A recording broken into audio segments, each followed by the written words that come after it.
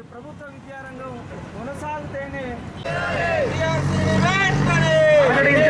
భాషా పండితుల పోస్టులను వెంటనే. అప్గ్రేడ్ చేయాలి. భాషా పండితుల పోస్టులను వెంటనే. అప్గ్రేడ్ చేయాలి. సిపిఎస్ను వెంటనే రద్దు చేయాలి సిపిఎస్ను వెంటనే రద్దు చేయాలి ఆవాజ్ దో ఆమేకే ఆవాజ్ దో ఆమేకే justice justice justice justice thank you sir రాష్ట్ర వ్యాప్తంగా జరుగుతున్నటువంటి ఉపాధ్యాయులు వేలాది మంది కదిలి రావాల్సినటువంటి పరిస్థితి ఉన్నది. ఈ ఉపాధ్యాయులు కూడా తప్పుదో పట్టించేటువంటి కొన్ని ఉపాధ్యాయ సంఘాలు కొందరు నాయకులు కొందరు ఎమ్మెల్సీలు మరి ముఖ్యమంత్రి గారు అపాయింట్మెంట్ ఇస్తున్నారు. చాలా తక్కువ సమయంలోనే ఈ లాబింగ్ ద్వారా మన పలుకుబడి ద్వారానే పరిష్కరిస్తామని చెప్పి ఒక తప్పుడు మాటలు చెప్పడంతో ఉపాధ్యాయులు అయోమయంలో ఉన్నారు. వాళ్ళ చాలామంది ఎవరు అడగలేదు ముఖ్యమంత్రి గారిని.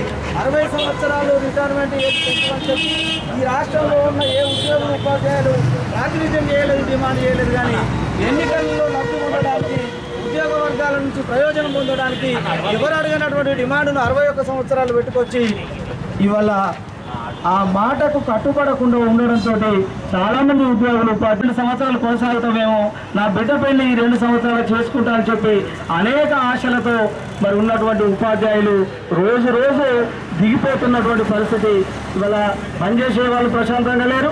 రిటైర్ అయ్యేటువంటి వాళ్ళకి ఏం వస్తుందో లేదు. జీతాలు ఒకటో తారీఖు నాడు వచ్చే పరిస్థితి లేదు. రాష్ట్రంలో ప్రమోషన్స్ అనే మాట దాదాపు ఆరున్నర సంవత్సరాల కాలంగా ప్రమోషన్స్ లేవు. కాబట్టి విద్యారంగాన్ని మొత్తంగా నిర్వీర్యం చేసి మనకు ఒక మాట చెప్పడం జరిగింది ముఖ్యమంత్రి గారు. ఉచిత విద్య అంటే మాలాంటి వాళ్ళు ఏమనుకున్నామంటే ఈ రాష్ట్రంలో ప్రైవేటు విద్యా సంస్థలే ఉండవి కార్పొరేట్ సంస్థలు అసలే ఉండవి. కాబట్టి ప్రారంభం నుంచి యూనివర్సిటీ స్థాయి వరకు అంత ప్రభుత్వ రంగాల్లో కొనసాగుతున్నదని చెప్తే ఈ ముఖ్యమంత్రి గారు వచ్చిన తర్వాత గౌరవాధ్యక్షురాలుగా సాక్షాత్ ముఖ్యమంత్రి గారు మరి కూతురైనటువంటి ఎమ్మెల్సీ గారు వివరించిన సందర్భం ఉన్నదంటే ఈ ప్రభుత్వం ఎటువైపు ప్రయాణం చేస్తుంది? నిజంగా ఈ రాష్ట్రంలో విద్యారంగాన్ని మొత్తం సామాజికంగా చేసి సమాజంలో ఉన్నటువంటి అట్టడుగు వర్గాల ప్రజలందరికీ అందుబాటులో ఉంచవలసిన బాధ్యత నుంచి విస్మరించి ఏది తక్షణంగా ప్రభుత్వానికి లాభాలు కలిగిస్తాయో దేని వల్ల వాళ్ళ ప్రయోజనాలు నెరవేర్తాయో దానికి మనం కనువిప్పు కలిగించి ఈ రాష్ట్రంలో ఉండేటువంటి ఉపాధ్యాయ ఖాళీలన్నింటి భర్తింపజేయడానికి మన ఉద్యమం సరైన ఉత్తర్వులు ఇప్పించాల్సిన అవసరం ఉన్నది. ఏ నోటితోటైతే నువ్వు మాట వాగ్దానం చేసి ఎన్నికల్లో గెలుపొందినవో దాని ప్రకారం అరవై సంవత్సరాలు రిటైర్ అయ్యేటువంటి వాళ్ళ మరి సర్వీసులు పెంచడానికి ఉత్తర్వులు కూడా ఉద్యోగులు ప్రశాంతంగా పనిచేయించడానికి కా- కావలసినటువంటి ఉత్తర్వులు ఇప్పిస్తూ ఈ రాష్ట్ర అభివృద్ధి కొరకు విద్యారంగాన్ని కాపాడుకోవడానికి మరి ముఖ్యమంత్రి గారు కూడా చొరవ చూపాలని చెప్పి డిమాండ్ చేస్తూ అంతిమంగా ఉద్యమాలే పోరాట ఈ రాష్ట్రంలో అనేక అనేక ఉద్యమాలు. మొత్తం భారతదేశంలో లేనంత ఒక సమరశీలమైనటువంటి ఉపాధ్యాయ ఉద్యమ చరిత్ర కలిగినటువంటిది. ఆనాడు ఎమ్మెల్సీలు ఎట్లా ఉండేవాళ్ళంటే మరి జీవరెడ్డి లాంటి వాళ్ళు తెలుసు. చాలా మంది సాదాసీదాగా మరి ఆటో రిక్షాలలో వచ్చి ఒక డబ్బుకు ఒక సంచి వేసుకొని అందులో డైరీలు వేసుకొని ఆ డైరీలో ఉన్న జీవోలు ఏవి ఇంప్లిమెంట్ చేయించాలి అనేటువంటి ఆలోచనతో వచ్చి మరి ఆటో రిక్షాల అసెంబ్లీకి వస్తే ఎమ్మెల్సీలు మాట్లాడుతూ ఉంటే మిగతా సభ ప్రశాంతంగా చూసి వీళ్ళు ద- దేశవ్యాప్తంగా ఉండేటువంటి పరిస్థితులను విద్యారంగానికి సంబంధించిన అంతర్జాతీయంగా ఉండేటువంటి విద్యారంగంలో రావాల్సిన మార్పుల గురించి చెప్- మళ్ళీ ఒకసారి నన్ను గెలవడానికి గౌరవంగా గెలిపించిన ఉపాధ్యాయ ఎమ్మెల్సీ సాక్షాత్ ఉపాధ్యాయుల ఆత్మగౌరవాన్ని మరి ముఖ్యమంత్రి కాలకాల తాకట్టు పెట్టి కాలవేరానికి వెళ్ళడం అనేది ఈ రాష్ట్రంలో ఉన్నటువంటి ఉపాధ్యాయులు అందరి గౌరవాన్ని కించపరిచినట్టుగా మరి అటువంటి విషయాలు అటువంటి ఎమ్మెల్సీల పట్ల మనం అప్రమత్తంగా ఉండాలని చెప్పి ఉపాధ్యాయ మిత్రులను సూచిస్తూ అంతిమంగా ఇవాళ ఇరవై తొమ్మిదిన రాష్ట్ర వ్యాప్తంగా మొత్తం హైదరాబాద్లో జరిగేటువంటి మహాధరణలో ఉపాధ్యాయులు ఎక్కువ సంఖ్యలో పాల్గొంటారని చెప్ప దానితో కూడా కళ్ళకపోతే మరి ప్రత్యక్ష చేరకైనా లేదా సమ్మెకైనా ఉపాధ్యాయులు వెనుకాడేది లేదు.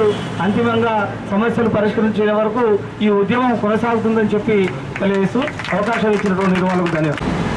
రాష్ట్ర స్థాయిలో ఉపాధ్యాయుల సమస్యల పరిష్కారాన్ని కొరకు ఉమ్మడి కార్యాచరణగా జాక్టో ఆధ్వర్యంలో రాష్ట్రంలోని జిల్లా కేంద్రాల అంతటా ఒకరోజు నిరాహార దీక్ష చేపడుతున్నటువంటి ఉద్యోగ ఉపాధ్యాయ సోదరులు ముఖ్యంగా తెలంగాణ రాష్ట్ర ఏర్పాటులో ప్రధాన పాత్ర పోషించింది మనం ఏ విధంగానైతే విద్యార్థులు నిరుద్యోగ యువతగా భావిస్తామో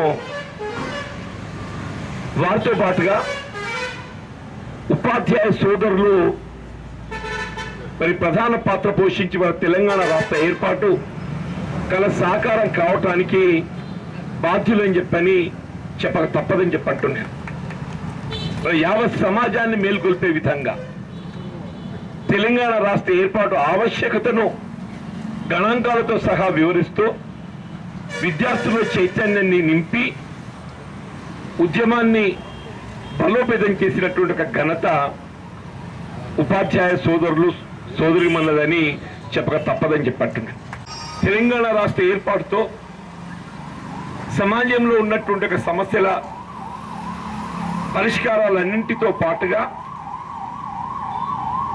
ముఖ్యంగా విద్యార్థులు నిరుద్యోగ యువత ఉద్యోగ ఉపాధ్యాయ సంఘాల సమస్యల పరిష్కారానికి ఏదైతుందో ఇవాళ మన వేదిక స్వీయ పాలన ద్వారా మనం పరిష్కరించుకోవచ్చు అనేటువంటి ఒక భావనతోని ఏ ఉమ్మడి రాష్ట్రంలో తెలంగాణ ప్రాంతం వివక్ష గురవుతున్నది ఈ ప్రాంత సమస్యలు పరిష్కారానికి ఏదైతుందో మనం ఆశించిన గుర్తింపు పొందలేకపోతున్నామని చెప్పని భావించడం జరిగింది. వాస్తవంగా ఇప్పుడే మిత్రులు మాట్లాడినట్టు తెలంగాణ రాష్ట్ర ఏర్పాటుతోని అసలు ఈ ధర్నాలే కానీ సమస్యలు ఏవైనప్పటికీ కూడా ఏ విధమైనటువంటి ఒక ఉద్యమం లేకుండా మరి పరిష్కరించుకోగలుగుతుందని చెప్పి అందరం భావించాం. కానీ ప్రస్తుత విధానాన్ని మనం గమనిస్తుంటే అసలు ధర్నా చౌకను ఎత్తివేయటం ఇది ఒక నిరంకుశ పాలనకి ఏదైతుందో నియంతృత్వ పాలనకు నిదర్శనంగా మనం భావించవచ్చని చెప్పంటున్నాం సరే ధర్నా చౌక్ ఎత్తేసింది సంతోషం. రాష్ట్ర విభజనలో తెలంగాణ రాష్ట్రం ధనిక రాష్ట్రంగా మనం భావించడం జరిగింది. మన పొరుగు రాష్ట్రంగా భావించేటటువంటి ఆంధ్ర రాష్ట్రం సమస్యలతో కూడుకున్నటువంటి ప్రాంతంగా భావించిన మనం. కానీ వాళ్ళు ఏమైపోయింది? ధనిక రాష్ట్రంగా భావించినటువంటి ఒక తెలంగాణ రాష్ట్రంలో సమస్యలు ఏదైతుందో కేంద్రీకృతమవుతున్నాయి. పరిష్కారం ఏదైతుందో మనం పొందడం లేదని చెప్పి అంటున్నాయి. కనీసం పొరుగు రాష్ట్రంలో కల్పిస్తున్నటువంటి ఒక సౌకర్యాలు కూడా ఇక్కడ కల్పించబడలేకపోతున్నాయని చెప్పండి ప్రధాన పాత్ర పోషించేది ఉపాధ్యాయులు.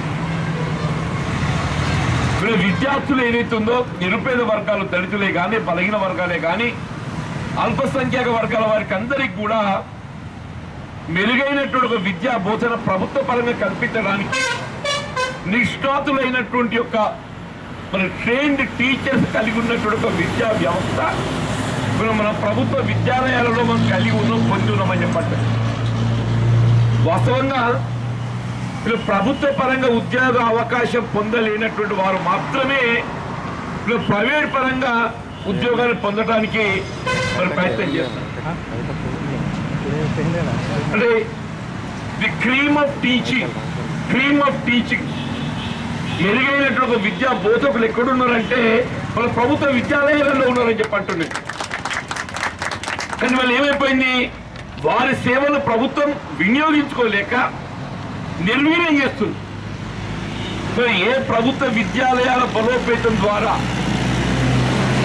నిరుపేద వర్గాలకు ఏదైతుందో ఉచిత బోధన సౌకర్యం కల్పించబడడం జరుగుతుందని చెప్పి భావించడమో ఇప్పుడు ప్రభుత్వ విద్యాలయాలను నిర్వీర్యం చేయడంతో అసలు విద్యా వ్యవస్థనే ప్రైవేట్ పరం చేయడానికి ఏదైతుందో ఈ రాష్ట్ర ప్రభుత్వం మరి ఉద్యుక్తమైందని చెప్పక తప్పదని చెప్పంటుంది మనందరం కూడా ఇప్పుడే మిత్రులు అన్నట్టు కేజీ టు పీజీ వరకు ఆంగ్ల మాధ్యమంలో ఉచిత నిర్బంధ విద్యా బోధన కేజీ టు పీజీ వరకు ఆంగ్ల మాధ్యమంలో ఉచిత నిర్బంధ విద్యా బోధన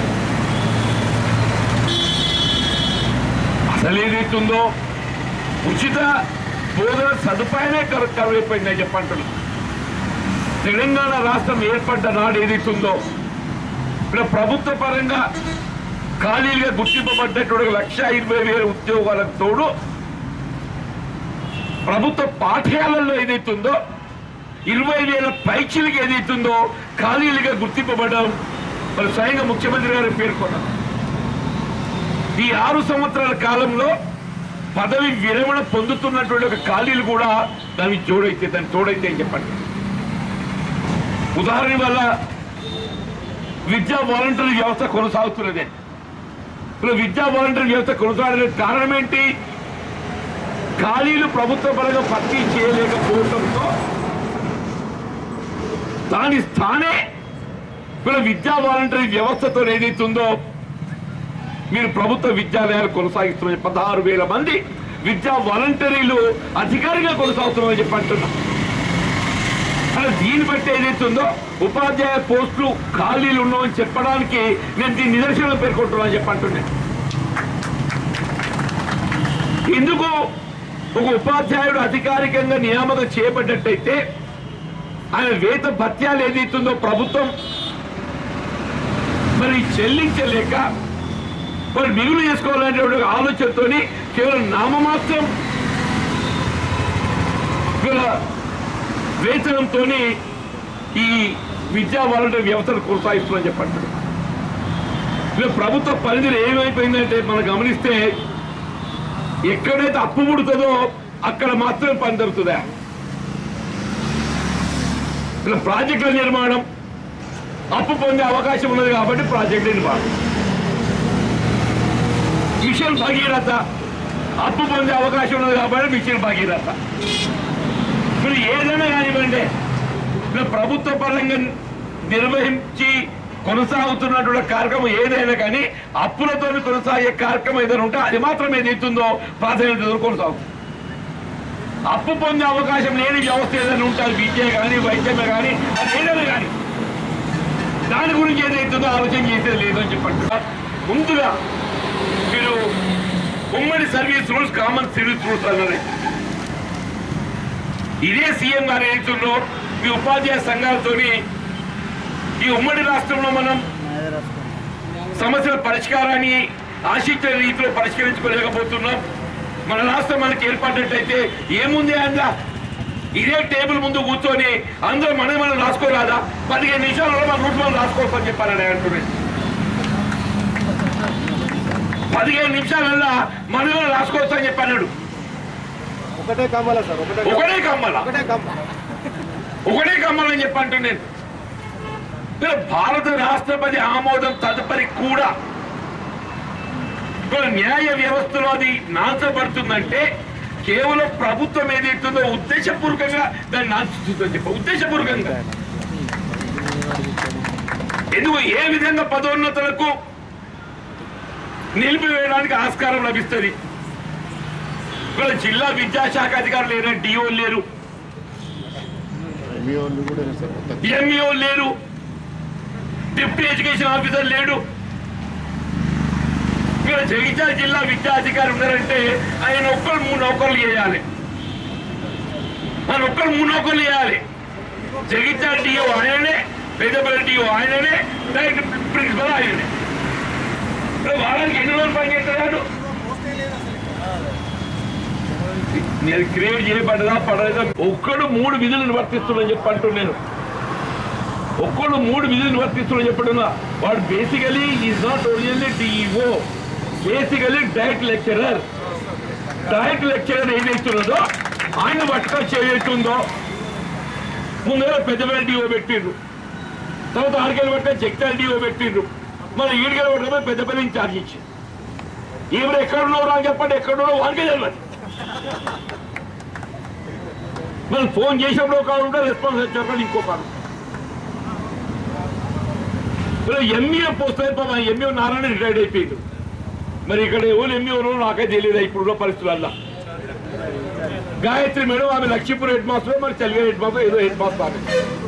ఆమె భలే ఎప్పుడు అడ్మినిస్టర్ చేయాలి ఎప్పుడు చదువు చెప్పాలి ఎప్పుడు మండల స్థాయిలో విద్యా విధానాన్ని పర్యవేక్షించాలి. ఆమె రెండు మండలాలు అర్బన్ రూరల్. ఆమె రెండు మండలాలు రెండు మండలాలు రెండు బండ్లు. రెండు మండలాలు రెండు పనులు ఆమె ఎక్కడుంటో ఆమెకే తెలియదు. మరి ఏంటి వ్యవస్థ? ఏమైతుందని చెప్పి అంటూ నేను. మరి ఈ మీరు ఏ విధంగా మీరు నిరుపేద వర్గాలకు ఏదైతుందో విద్యా బోధన సౌకర్య కల్పన పట్ల మీరు అండగా నిలబోతున్నారని చెప్పి అంటున్నాను ఇలా పాఠశాలల శుద్ధీకరణ. నాకు ఎరుకోండి నేను పంచాయత్ సమితి అధ్యక్షుడు ఉండగా ప్రతి పాఠశాలకు స్వీపర్ ఉండనే నేను పంతొమ్మిది వందల ఎనభై ఒకటిలో ఐ వాజ్ పంచాయత్ సమితి ప్రెసిడెంట్. ప్రతి పాఠశాలకు ఒక ఏదైతుందో స్వీపర్ ఉండే. బడి ఊడవడానికి నీళ్ళు పెట్టడానికి గంట కొట్టడానికి అన్నిటికీ ఏదైతే ప్రతి బడికి ఉంటుండే. తర్వాత ఏమైంది? పార్కింగ్ స్వీపర్ అని తర్వాత ఏమైంది? స్కావెంజర్ వచ్చింది. ఇప్పుడు స్కావెంజర్ ఎక్కిండు అరే అట్టి ఇరవై ఐదు వందల రూపాయలు ఇచ్చే స్తోమత లేదా ప్రభుత్వానికి? అట్టి ఇరవై ఐదు వందలు ధనిక రాష్ట్రం. ఒక ప్రభుత్వ పాఠశాల ఏదైతే ఉన్నదో ఒక ఆసరా పెన్షన్. ఒక ఆసరా పెన్షన్. ఒక రోజు ఎన్ఆర్జీ ఎన్ఆర్ఈ ఎన్ఆర్ఈజీఎస్ కూలీ ఒక రోజు స్కూల్ ఏం చెప్పంటూ నేను మరి హెడ్ పాస్ ఏం చేయాలి? ముందర పోయి ఊడ్చుకోవాలి. నిజమే బాబు అంటున్నా. మీరే సర్పంచ్ ఫోన్ చేస్తారు. అరే మాకే దిక్కులేదు నీకే దూరం సర్పంచ్ అంట. ఆ నేర్పు అనుకున్నది ఇప్పుడు.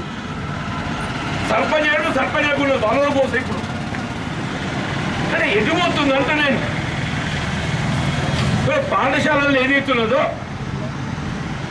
మెయింటెనెన్స్ ఛార్జ్ వస్తుందా సంవత్సరానికి ఎంత వస్తుందో నా దగ్గర ఇరవై వేలు ముప్పై వేలు నలభై వేలు యాభై ఎంత వస్తుందో. పదిహేను వేల? ఇప్పుడు ఆయన ఏమైపోయింది కరెంట్ బిల్ ఏదైతుందో మీరు వేసిన కడతారో కట్టరో చెప్పి ప్రీపెయిడ్ మీటర్ పెట్టాలన్నట్టు ముందు ప్రభుత్వ కార్యాలయాలు పెట్టండి ప్రీపెయిడ్ ప్రీపెయిడ్ మీటర్లు. ముందు ప్రభుత్వ కార్యాలయాలు పెట్టండి ప్రీపెయిడ్ మీటర్లు. ఆ వదిలి పెట్టేసి ఏదైతుందో ఉన్న ఉన్నప్పటికీ ప్రీపెయిడ్ మీటర్ పెట్టు ఆ పదిహేను వేల ఎనిమిది వేల మీటర్లు కట్టు. ఇక ఉంటుంది? అంటున్నా నేను వాడు ఉడిచడం ఎవడు పెట్టాలి నీళ్ళు ఎవడు పెట్టాలి కరెంట్ ఎవడు కట్టాలి. ఇప్పుడు ఆడ ఇప్పుడు ఆన్లైన్ పోతారా ఇప్పుడు ఆన్లైన్ పోతారా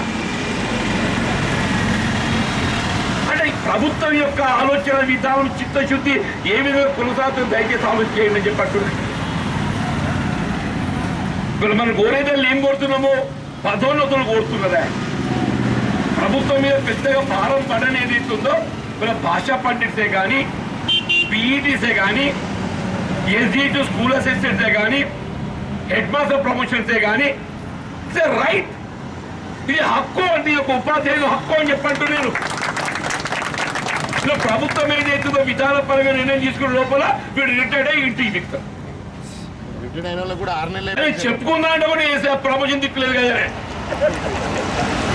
ఏం రిటైర్డ్ అయినారు అంటే రిటైర్డ్ స్కూల్ అసిస్టెంట్. రిటైర్డ్ ఎక్కువ ఒక బోర్డు పెట్టుకుంటాడు అన్నట్టు. ఇప్పుడు అది కూడా పెట్టుకురావు నువ్వు. అది కూడా పెట్టుకురావు అని చెప్పంటున్నాను ముఖ్యమంత్రి గారు అసెంబ్లీలో చెప్పారు సార్ రిటైర్డ్ అయిన వాళ్ళని ఇంటికి బండిలో జాగ్రత్త నువ్వు రిటైర్డ్ కాకముందు నీ పెన్షన్ పత్రాన్ని నీ ఇంటికి నీ చేపకొస్తాయని చెప్పన్నాడు the last day of working. The last day వరకు నీ నీ నీ యొక్క విధుల నిర్వర్తనం చివరి తిరునాడు ఏదైతే ఉందో నీ పెన్షన్ పత్రాలు ఫైనల్ బిల్లుతో పాటు ఏదైతే ఉందో నీ జేబులో పెట్టి నీకు పూలదండ వేసి నేను సన్మానించి ఇంటి పంపిస్తామని చెప్పాలి. పెట్టా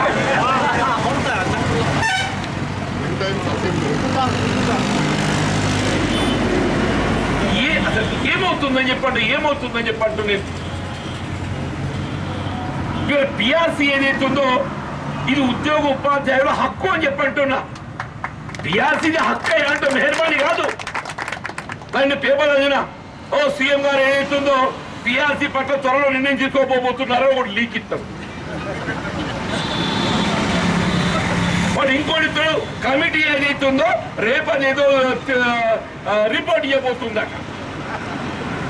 కమిటీ రిపోర్ట్ ఇవ్వబోదు రెండేళ్ళ నష్టాలు రిపోర్ట్ ఇవ్వబోతున్నట్టు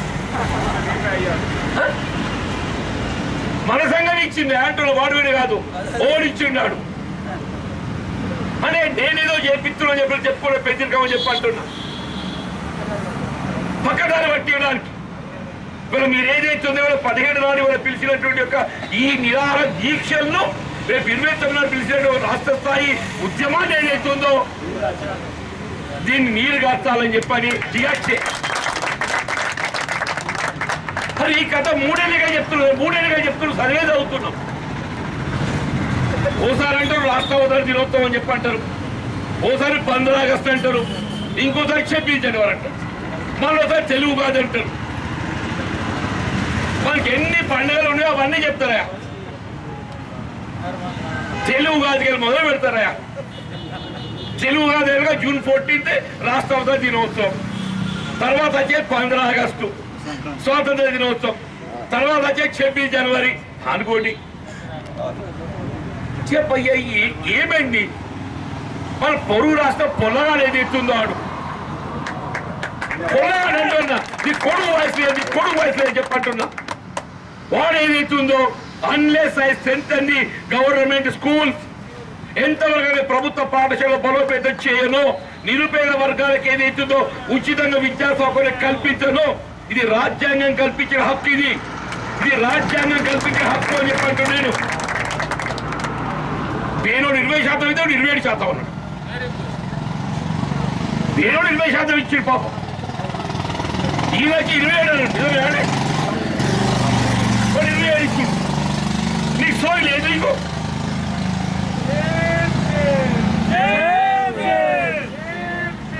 ఒక కథ మళ్ళీ ఏదో ఐఆర్ చెప్తా ఇచ్చినారు రిపోర్ట్ ఎందుకే? ఐఆర్ ఇచ్చినానికి రిపోర్ట్ ఎందుకో? అని నేను నువ్వు ఇచ్చేదే మధ్యంతర భృతి. మధ్యంతర భృతికి ఏదైతుందో నీ కమిటీ నివేదిక ఎందుకు? నీ కమిటీ నివేదిక వచ్చినాక ఏదైతుందో ఫీడ్బ్యాక్ పూర్తి స్థాయిలో కూడా ఫైనల్ చేపించడానికి అసలు అయ్యారంటేనే మధ్యంతర భృతి. Pending report of the committee pending report of the committee అని చెప్పంటున్నాను దాన్ని మూడేళ్ళగా నాల్చినాక ఎందుకై తెలంగాణ ఎవరి కోసం తెలంగాణ అని చెప్పంటున్నాం హలో అన్న సీఎం డౌన్ డౌన్ ఏ సీఎం విద్యా వ్యవస్థ పరిస్థితి ఏమైపోయింది సీఎం సీఎం వీళ్ళ విద్యా వ్యవస్థ పరిస్థితి ఏమైపోయింది నువ్వు గురుకుల పాఠశాలలు పెట్టు సంతోషం నేను మీ అవసరం లేదు గురుకుల పాఠశాల పెట్టు అర్థం లేదు దాని అర్థం ఏదైతుందో ప్రభుత్వ పాఠశాల నిర్వీర్యం చేయాలని కాదు కదా. ఆ ప్ర ఆ గురుకుల పాఠశాలకి ఏదైతుందో ఫీడింగ్ ఎడికలుగా అవుతుంది ఈడికెళ్ళి అవుతుంది మరి నీ ఆ, జ్యోతిబా పూలే కానీ నీ ఎస్సీ రెసిడెన్షియలే కానీ ఎస్సీ రెసిడెన్షియలే కానీ ఫీడింగ్ ఎడికెళ్ళి పోవాలి. Unless the government schools are సెంటెండ్ వాళ్ళకి తీయని చెప్తున్న గురుకుల పాఠశాలల్లో seventy five percent of admission are from private schools అని చెప్పండి. మన విద్యార్థులకు ప్రైవేట్ విద్యార్థులకు పోటీ పరీక్ష పెడితే వాడు ఇంగ్లీష్ మీడియంలో వానికి అటు చేసి వాళ్ళు మనం కానీ ముందు మనం వెనుక గురుకుల పాఠశాల అన్ని ఏదైతుందో వీళ్ళు ప్రైవేట్ స్కూల్ పిల్లలతో ఫీట్ వీటి నింపుతుండని చెప్పండి. గరీబోన్ సంగతి ఏంది? గరీబోన్కి ఇంగ్లీష్ మీడియం వద్దా? గరీబోన్ మెరుగైన విద్యా బోధన వద్దా అని చెప్పంటాను నేను? మోడల్ స్కూల్లో చదివిన పూర్వం చేస్తున్నటువంటి ఒక ఉపాధ్యాయులకు ఏదైతుందో ప్రమోషన్సే కానీ బదిలీలే కానీ అరే పెన్నా మౌడు ఒక కాడ నౌకరు చేయాలనేది రాజ్యాంగం నిర్దేశించిందిరా.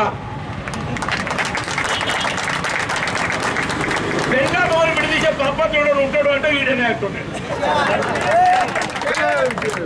పెన్నామవ్వని కలిసి సంసారం చేయనోడు ఎవడన్నా ఉన్నాడు అని చెప్పారంటే ఇంకో మన దొరగారు అని చెప్పంటుండే నీకంటే ఈడు ఒకటి వీళ్ళందరికీ ఈడు అరే నేను అంత బయట డెబ్బై ఏళ్ళు వచ్చింది ఇప్పుడు? నువ్వు ఏడు ఒకటి. ఏడు ఏడులో మరి నువ్వు? మరి నలభై ఏళ్ళు యాభై ఏళ్ళ పొలాలు ఏదైతుందో? సగం మంది పొలాలు లేదు సగం మంది పొలాలు కాలేదు. అది పెన్నం పోతే మొగడు ఒక కాలం ఒకరు నేను కోరుకుంటారు కోరుకోరే? పౌజ్ అనేది ఏదైతుందో ఇది ఇవ్వాలి వచ్చింది కాదు మీరు ఇదేదో మీరు మెహర్బాని కొత్త తెలంగాణ కలుపుతున్నది కాదు ఇది అంటున్నాను. ఉద్యోగ ఉపాధ్యాయ సంఘాలకు ఏదైతే హక్కు అంటున్నా ఇవాళ ఐఏఎస్ ఐపీఎస్ ఆఫీసర్ కూడా ఏదైతుందో భార్య భర్తలు కలిసి ఉండే విధంగా ఏదైతుందో ప్రభుత్వం కలిసి బాధ్యత.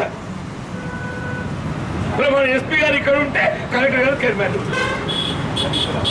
ట్రైన్ అది కూడా లేకుండా ట్రైన్ ఏం చెప్పంటు నేను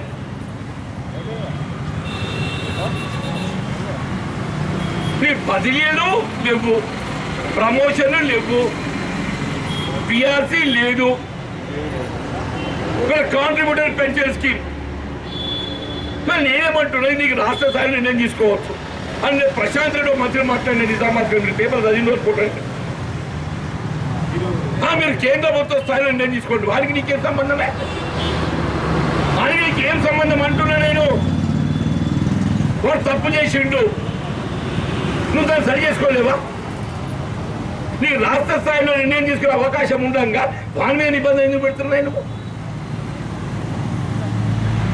ఇదే కాంట్రిబ్యూటర్ పెన్షన్ స్కీమ్ సంబంధించి సిపిఎస్ విధానం రూపుదిద్దుకోకంటే ముందు ఎంపికైనటువంటి ఒక ఉపాధ్యాయులే కానీ ఉద్యోగస్తులు ఎవరైనా ఉన్నట్టయితే వాళ్ళ ఓల్డ్ పెన్షన్ స్కీమ్ వర్తింపజేసే విధంగా వీళ్ళ కేంద్ర ప్రభుత్వం ఏదైతుందో అమలు చేస్తుంది.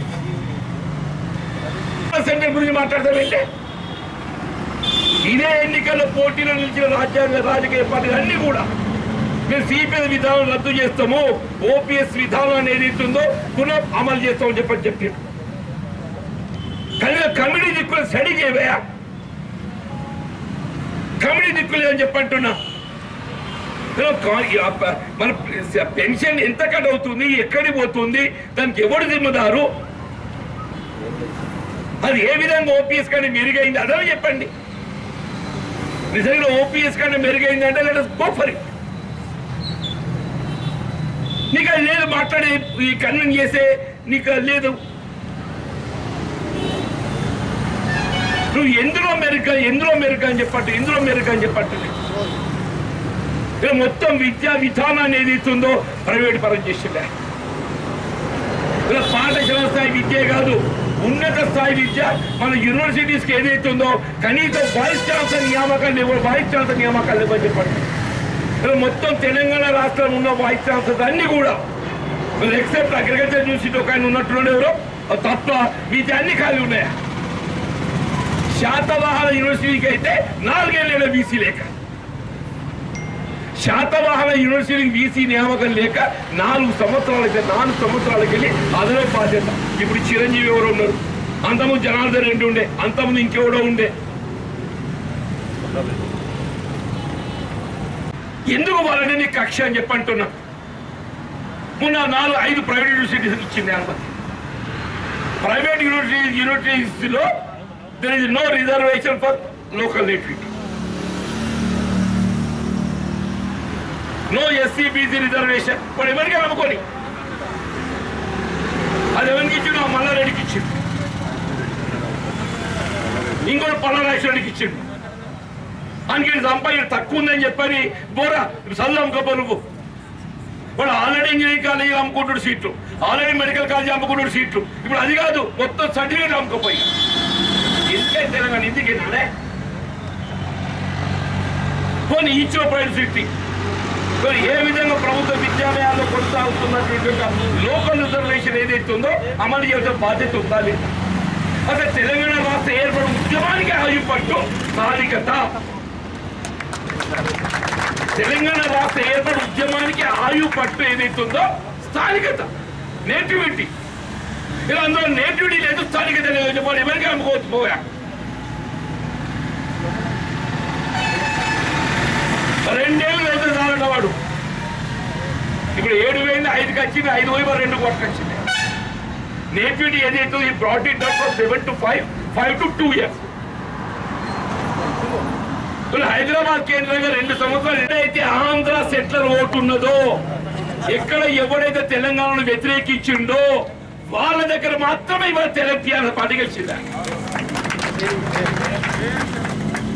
మల్కాజ్గిరి మొత్తం వాళ్ళే. షేర్లింగంపల్లి మొత్తం వాళ్ళే కూకట్పల్లి మొత్తం వాళ్ళే జూబ్లీస్ మొత్తం వాళ్ళే. మరి అసలు తెలంగాణ పుట్టున్న కాడ ఏం చేస్తుందో అసలు తెలంగాణ బాధ ఉన్న కాడ నీకెందుకు ఓటయ్యలేదు అని నువ్వు అసలు తెలంగాణ బాధ విశ్వాసాన్ని కోల్పోయినట్టే కదా? తెలంగాణ రాష్ట్ర ఏర్పాటు వేగించి వ్యతిరేకించిండో వాళ్ళ మద్దతును కొనసాగుతున్నటువంటి యొక్క నీకేదైతుందో అధికారంలో కొనసాగడం ఏం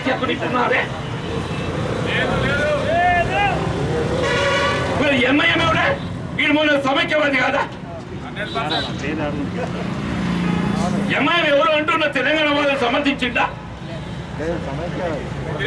వ్యతిరేకించు తెలంగాణ వాళ్ళు వ్యతిరేకించుడు అడ్డం నిల్చున్నాడు అడ్డం నిల్చుడు అని చెప్పంటున్నాను.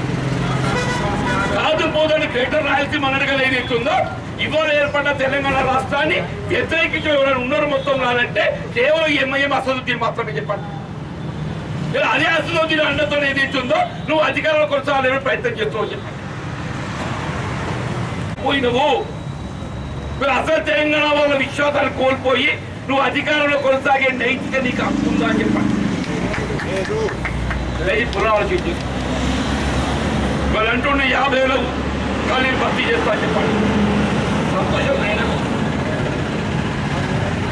కనీసం ఇప్పుడే జ్ఞానోదమైంది. జీఐక్యతి దెబ్బతోనైనా కానీ ఏదైతే ఉందో నీకు జ్ఞానోదమే సంతోషపడి. ఎవరో గెలవండి మావుడు అంటాడు కాదు వాళ్ళు గెలిచినారు అని చెప్పని. ఎవడని గెలవండి అంకే బుద్ధి చెప్పిన. అతను మా దినం కూడా అర్థం ఉన్నాడు ఆంకే బుద్ధి చెప్పింది కదా. ముందు ఆడు దిగితే తర్వాత నువ్వు ఎక్కుతావు నేను ఎక్కువ చూసుకునే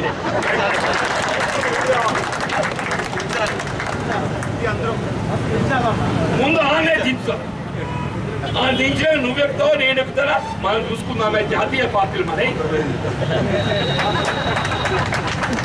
జాతి హితం కోరే పార్టీలు అంటున్నా జాతి హితం కోరే పార్టీలు అని చెప్పి అంటున్నా. దయచేసి ఏదైతుందో వాళ్ళ ఈ ఉద్యమాన్ని మీరు చేపట్టినటువంటి ఒక నిరాహార దీక్షలో మీ సమస్యల పరిష్కారానికి ఏదైతుందో ఇలా కాంగ్రెస్ పార్టీ పక్షాన్ని సంపూర్ణ మద్దతు. మీరు పార్టీ పరంగానే కాకుండా ఒక శాసన మండలి సభ్యుడు పట్టపత్ర నియోజకవర్గానికి ఎంపిక కావడంలో మీ అందరి సహాయ సహకారాలు పొంది మిమ్మల్ని ఈ స్థాయిలో గడబెత్తుతున్నానని చెప్పంటే మీ అందరి అండదండనే నాకు లభించవుతుందని చెప్పండి అంటే వాస్తవంగా ఐఎమ్ రియల్లీ ప్రౌడ్ టు నన్ను మీరు గౌరవించవలసిన మీలో భిన్నాభిప్రాయాలు ఉండొచ్చుగా భిన్నాభిప్రాయం మీకు ఉండొచ్చుగా కానీ ఏదైతుందో తెలంగాణ ప్రాంతంలో ఉత్తర తెలంగాణ ప్రాంత సమస్యల పరిష్కారానికి కొరకు ఏదైతుందో రాజకీయాలకు అతీతంగా మాకు అండగా నిలిచారు విశ్వాసంతో ఏదైతుందో మీకు అవకాశం కలిగింది తప్పకుండా మీకు నేను నీకు రుణపడి ఉన్నా కృతజ్ఞుణ్ణి. ఇలా భవిష్యత్తులో ఉద్యోగ ఉపాధ్యాయ సంఘాలు నన్ను కూడా మీ టీచర్స్ ఎమ్మెల్సీగా భావిస్తాయి. మీరు కూడా నా ఓటర్లు. మీతో పాటు మీతో కూడా వేసిండు కానీ మీరు కూడా నా ఓటర్లు వీళ్ళ సభలో ఏదైతే ఉందో నర్సిరెడ్డి గారు మాట్లాడుతున్నారు హండ్రెడ్ పర్సెంట్. వారితో పాటుగా నేను ఎప్పుడు వారికి తోడైతున్నా. నర్సిరెడ్డి గారు మాట్లాడు నేను వారు తోడైతున్నా చెప్పంటున్నాను.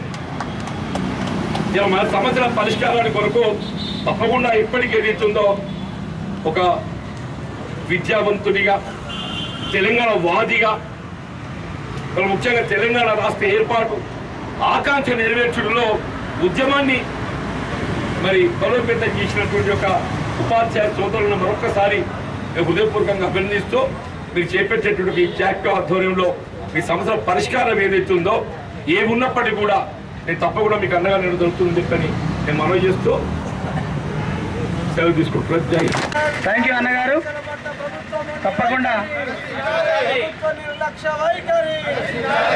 నేడు జాక్టో యూఎస్పిసి తీసుకున్నటువంటి జిల్లా కేంద్రంలో తీసుకున్నటువంటి నిరాహార దీక్ష శిబిరానికి సంఘీభావంగా వచ్చినటువంటి మాన్యులు గౌరవనీయులు శ్రీ జీవన్రెడ్డి ఎమ్మెల్సీ గారు.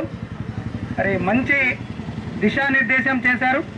నేడు రాష్ట్ర వ్యాప్తంగా ఒక విద్యా వ్యవస్థ విద్యా వ్యవస్థలో ఉన్నటువంటి లోపాలను గురించి నేడు అద్భుతమైనటువంటి ప్రసంగాన్ని ఇచ్చారు. వారు మేము మా జాక్టో ఎస్పీసీ పక్షాన కృతజ్ఞతలు ధన్యవాదాలు తెలియజేసుకుంటున్నాం సార్. మరొకసారి మీరు అలుగుబెల్లి నరసిరెడ్డి గారిని మేము ఉపాధ్యాయ ఎమ్మెల్సీగా గెలిపించుకున్నాం. వారితో పాటు మిమ్మల్ని కూడా మేము ఉపాధ్యాయ ఎమ్మెల్సీగానే అనుకొని మా సమస్యలు నిరంతరం మేము మీ వద్దకు తీసుకొస్తున్నాం. మరి అన్ని సమస్యలపైన మీకు పూర్తి అవగాహన ఉంది. అదృష్టవశాత్తు మరి మీరు ఎమ్మెల్సీగా ఉన్నారు. ఆ ఆ గలము ప్రశ్నించే తత్వం మీ దగ్గర ఉంది కనుక రానున్న రోజుల్లో శాసన మండలిలో మరి తర్వాత రాబోయే రోజుల్లో ప్రభుత్వంలో ఉండి మీరు మరి ఉపాధ్యాయ వర్గం అనేది మేధావర్గం సార్. మేధావర్గం ఈరోజు రోడ్డు బాట పట్టింది రోడ్లలో కూర్చునేటువంటి పరిస్థితి ఈ ప్రభుత్వం తీసుకొచ్చింది. దయచేసి మీరు మరొకసారి మమ్మల్ని ప్రశాంతంగా మా ఉద్యోగాలు చేసుకునే పరిస్థితిని కల్పిస్తారని ఆశిస్తూ మరి ఈ అవకాశం మీరు వచ్చి మాకు సంఘీభావం తెలిపినందుకు అవకాశం ఇచ్చినందుకు మీకు సదా రుణపడి ఉంటాం. Thank you sir thank you very much sir